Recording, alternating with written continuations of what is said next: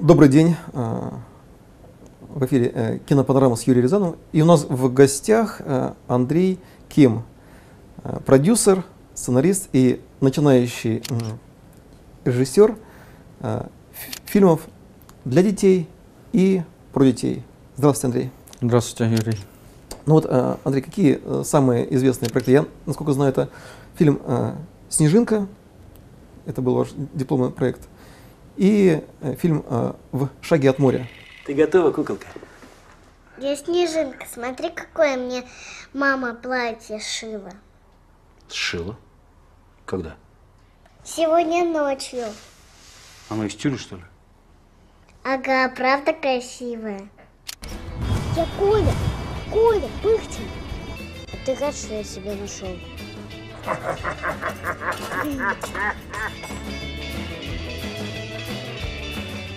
Фильмом «Снежинка» это был мой дебют, точнее наш дебют, я бы так сказал, продюсерский, с э, двумя еще прекрасными продюсерами, это Наталья Бочарова и Оксана Лохно. Это был наш продюсерский дебют в э, Академии, в Нью-Йоркской киноакадемии в Москве, которые были. Но там я дебютировал в том числе с своим э, соавтором, с Максимом Воскобоевым, как э, и сценарист. То есть, получается, двойной дебют был. А в «Шаге от моря» это уже наш дебют с Максимом как режиссеров, получается. То есть мы и сценаристы, и режиссеры. Ну, я в том числе и режиссер монтажа. Сколько, сколько людей его увидели? Снежинку. Его увидела практически вся Россия. Я думаю, на фестивалях мы были практически на всех детских фестивалях, которые существуют как в России, так и в странах СНГ.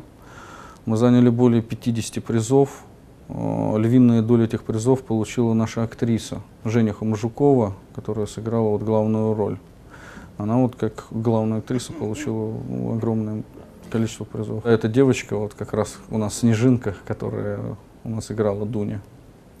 Ну, если говорить о «Снежинке», фильм такой добрый, сказочный. Я думаю, таких фильмов мало очень. Почему-то сейчас э, вот, э, не хотят э, сценаристы, режиссеры, продюсеры как бы вот лезть с головой окунаться в сказки, в детское позитивное кино. Как вы думаете, из-за чего это происходит? Вы знаете, недавно прошел круглый стол, на котором я был, да, вы как раз Ну, были одним из организаторов этого круглого стола. Там сказали ужасную вещь. Ужасную вещь, как я думаю, то, что якобы детское кино это является гетто для неудачников и дебютантов. Да, я дебютант, но не считаю себя неудачником. И вообще я считаю то, что фильмы для детей и про детей должны снимать очень хорошие профессионалы. Профессионалы как в сценарном мастерстве, как драматурги, профессионалы как режиссеры, так и операторы. Потому что на данный момент очень сложно захватить внимание ребенка чем-то. А ты представь, что все в зале с горшками на голове сидят. С горшками? С горшками.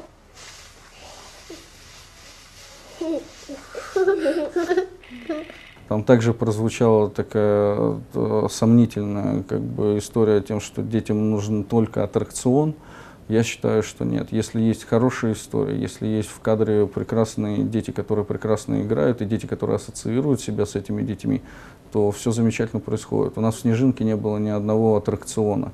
И мы показывали детям, как раз дошкольникам. Я показывал «Снежинку» в детском саду детям от 3 до 6 лет. Все были поражены. Конечно, я увидел тем, что когда на экране у нас Дуня, девочка сама, они прилипают к экрану. Как только она выходит из кадра, буквально две минуты максимум дети еще держат какое-то внимание, а после этого они просто теряются уже в этих, э, во взрослых смыслах, получается. И я считаю то, что детям, возможно, нужен не аттракцион, а именно такие детские истории про них и для них, где как раз-таки дети сами будут рассказывать о своих а, взаимоотношениях, о своих переживаниях и то, что им нужно, они сами с экрана будут говорить своим же сверстникам на понятном им языке фактически. В первую очередь, детское кино – это сказки.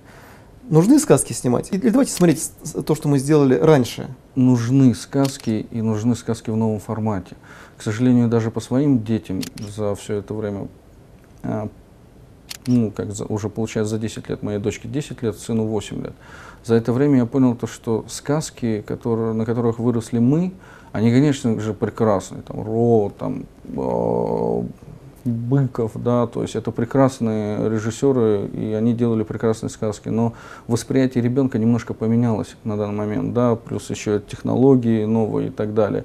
И я думаю, то, что нам нужно снимать сказки в, в новом формате, с новым подходом, с э, подходом таким, то, что дети уже не могут сидеть и смотреть длинные кадры больше, чем 3-4 минуты. Да. Им вот нужно, чтобы смена сюжета, смена кадра, они происходили там внутри 2-3 минут. Мы не говорим просто о таком диком, бешеном монтаже каком-то, нет, мы не говорим о монтаже, а именно о сюжете, о поворотах о том, что нам нужно становиться намного профессиональнее. И сказки обязательно должны быть. Обязательно, я считаю. Вот, э, я считаю то, что когда нам в детстве читали сказки, а такое было, когда родители с детьми э, это было, это была уже прекрасная традиция, когда вечером после, там, я не знаю, спокойной ночи малыши мы садились и читали какие-то сказки. И мне мама, иногда и папа читали сказки. И когда я слышал там про богатырей, про этих прекрасных, э, сильных духом, самое главное, умных и сильным, сильные телом людей, которые могли защищать Родину, то есть они своим духом уже говорили о любви, о родине. И хотелось подражать сначала богатырям, потом дальше рассказы приключенческие, то есть захватывали там. В нашем детстве мы хотели быть кем? Космонавтами, я не знаю, путешественниками, геологами и так далее, разведчиками. Играя там в войнушку и быть на стороне немцев, да, все всегда отказывались от этого, никто не хотел это делать. Опять же, фильмы были прекрасные про, в том числе и детей, которые на войне совершали э, героические поступки. А нужно с новым технологией взять, возможно, там, у Голливуда, у Европы, у, э, у Англии, все новое, то, что они имеют, как они это рассказывают, и подать с нашим фактически российским, русским менталитетом и рассказать об этой широкой душе немного по-другому.